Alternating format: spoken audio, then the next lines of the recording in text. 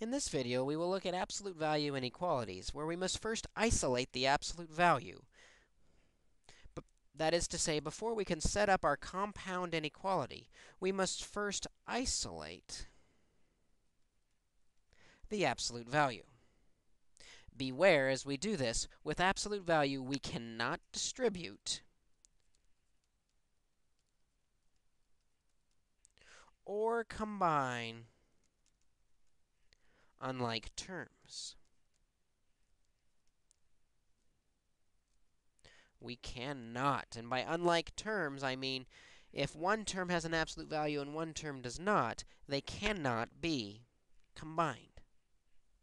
For example, in this problem, before we can set up our tripartite inequality, or before we can set up our OR inequality, we must first isolate the absolute value. What we cannot do is distribute the 7 through the absolute value.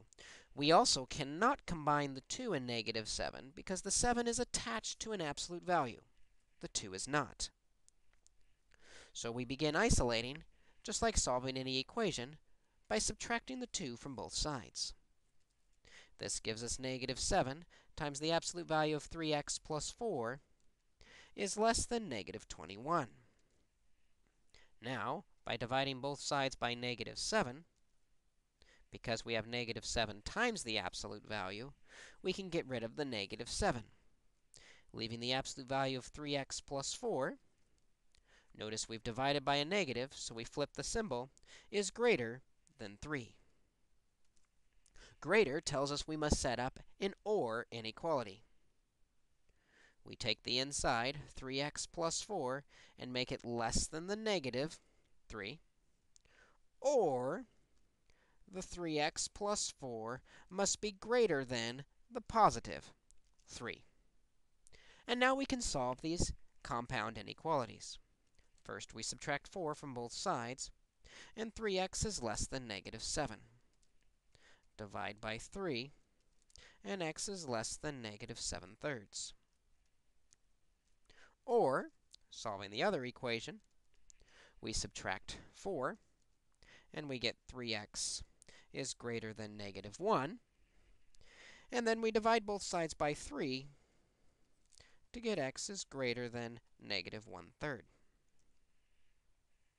Again, we can put this on our number line, knowing that the OR inequality that comes from absolute value is going to go outside of our two points. From negative 7 thirds, we need to go down. From negative 1 third, we need to go up.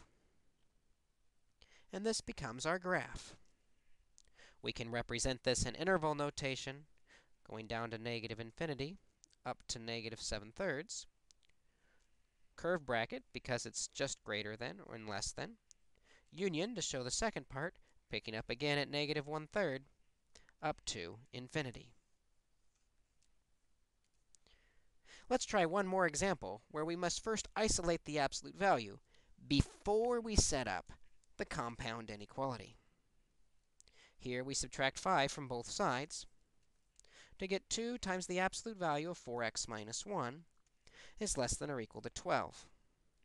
Again, to clear the 2, we must divide both sides by 2 to get the absolute value of 4x minus 1 is less than or equal to 6.